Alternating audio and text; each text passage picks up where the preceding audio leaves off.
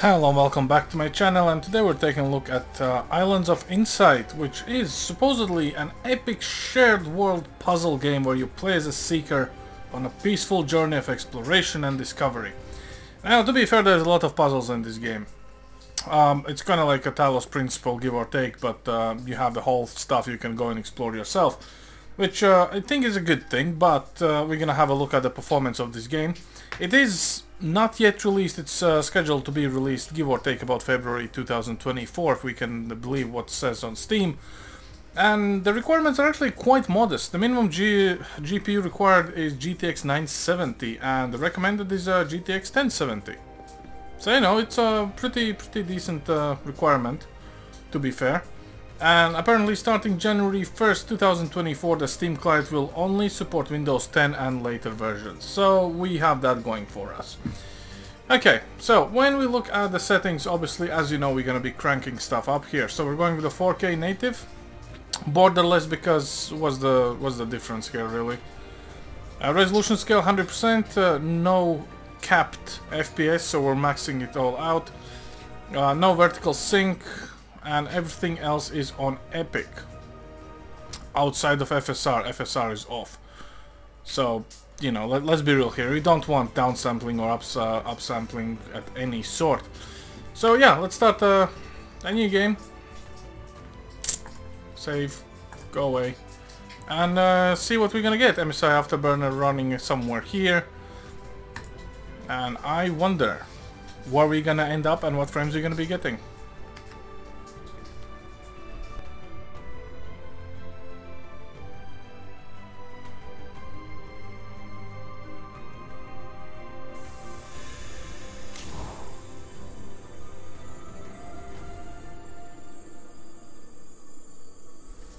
Okay, I will give substance to your form, but you must choose a vessel to house the spark within. Um, uh, who's this?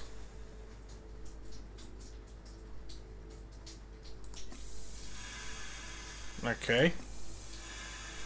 I think we're, we're, we're good enough. Yeah, finalize. Perfect. Very good for first try of character creation. It looks weird, same as this game. So let's see what they have for it. Can we skip this? I don't think uh, we really want to read this and we can't skip it, so that's good news. Unskippable intros. My new favorite thing.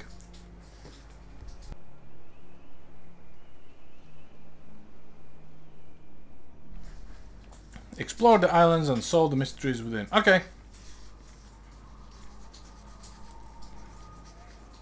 I probably didn't read, but I, I still don't know why we need to do that.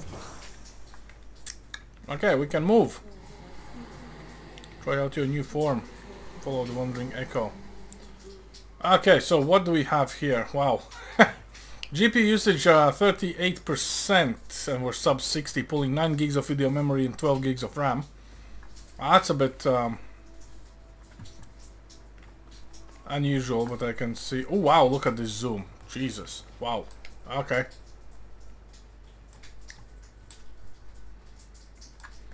I mean, to be fair, the draw distance is actually not too bad, all things considered.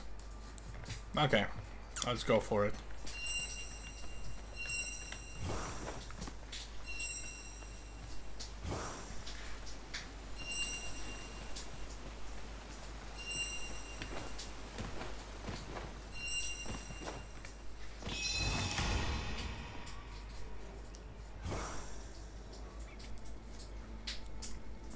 Mean, this actually looks pretty good.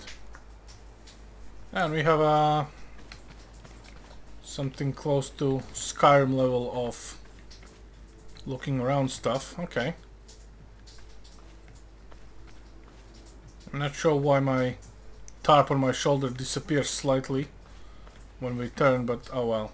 You know, it, it is how it is. Right, I think we'll be stuck with the first person for now. Let's interact. Left click a gray cell to toggle it dark.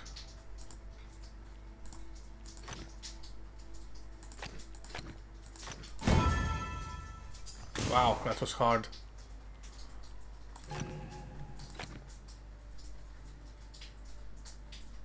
Oh, connect all light puzzles.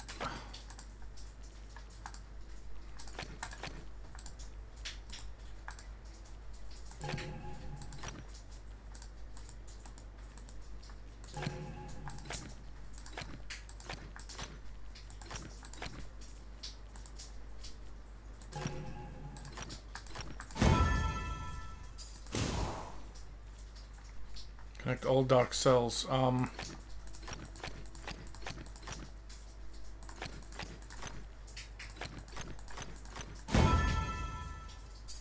I hope this is a joke. Connect all light cells.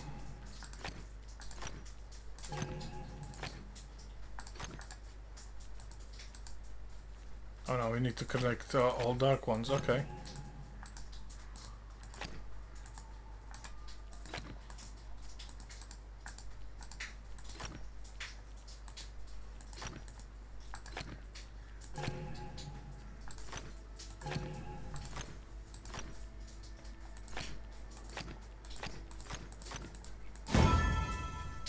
This this is the weirdest puzzle I've I've, I've actually seen. Why why why are we doing this? Oh, because we needed to do the pillar. Solve the logic grid to unlock something somewhere. Okay. That's supposed to be a logic grid. So while you don't look far out in the distance, you actually get pretty decent frame rate, which I honestly I cannot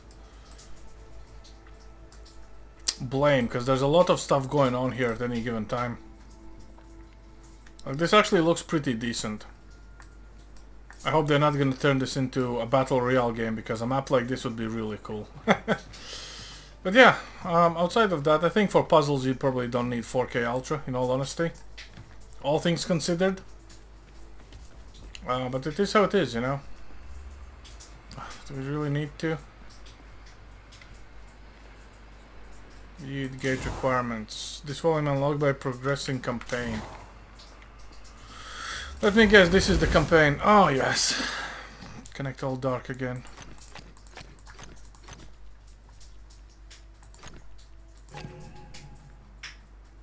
Oh, now we need to connect all whites.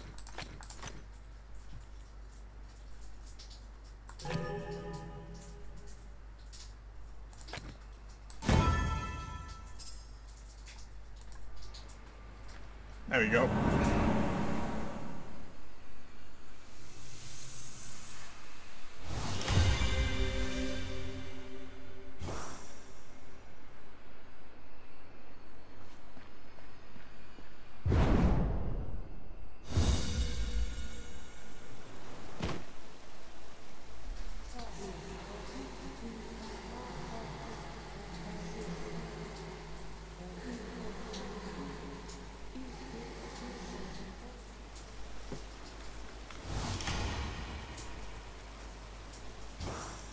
Who's that? It's a juggernaut. I wonder if that's a player. Wouldn't be surprised. I mean, the idea of the game is actually pretty decent. Hidden archways. I mean, the idea that you have plenty of puzzles to spend your time puzzling it's actually not bad at all, all things considered, you know. Solve 10 puzzles to earn a Mirabilis. Oh, yeah, I don't think we're gonna be doing that, really, you know. I don't think... I kinda see what they wanna... What they want us to do here. And this feels like one of those uh, chilled out games, really, where you kinda need to take your time, chill out, and everything will be good.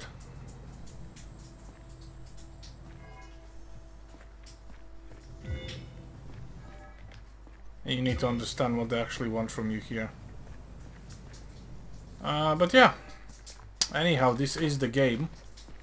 Performance-wise, uh, yeah, could could be Johnny Giorgio.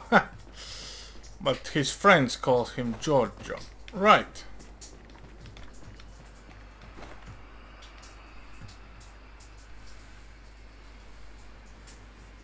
Can we jump and fly? Oh, we can jump and respawn. Third lightly little one. Okay, fair enough.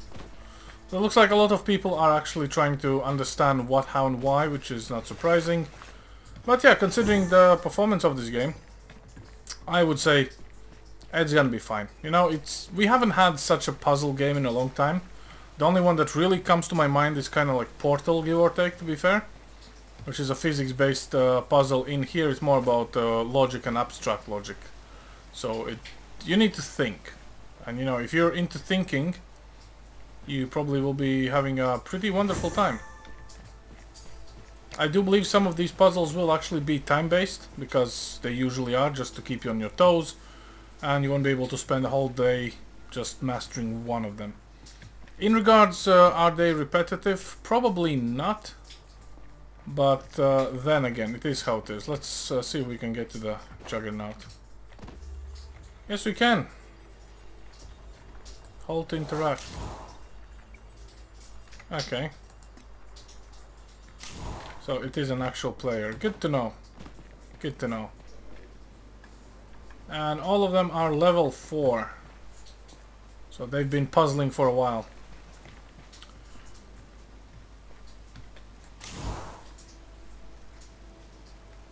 Ah, I see. So this is like an explanation what and how and why.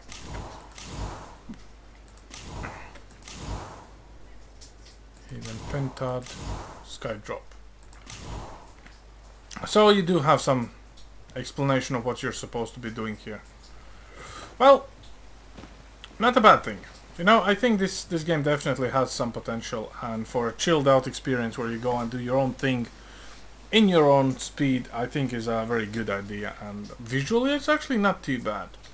Definitely don't uh, don't crack this open on Epic everywhere. I would say mix and match and you're gonna be doing just fine rather than an intellectual game so to say.